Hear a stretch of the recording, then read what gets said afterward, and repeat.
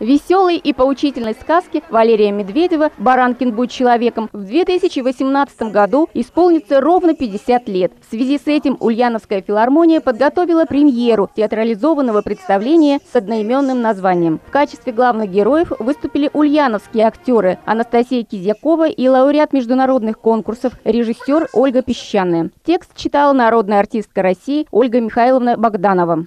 В таком формате я работаю впервые, у меня премьера, чтобы симфонический оркестр вместе со мной.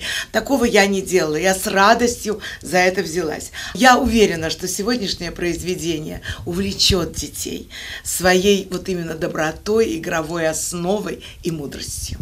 История про Юру Баранкина и его товарищи сопровождала музыка Дунаевского и Шостаковича, которую исполнил Ульяновский симфонический оркестр «Губернаторский» под руководством дирижера из Минска, лауреат международного конкурса Дмитрия Матвиенко. За 50 лет сказка нисколько не постарела. Это было заметно по восторженной реакции мальчишек и девчонок. В финале представления всех ждал сюрприз. Прямо с потолка посыпались разноцветные воздушные шары. Ирина Антонова, новости Ульяновской правды.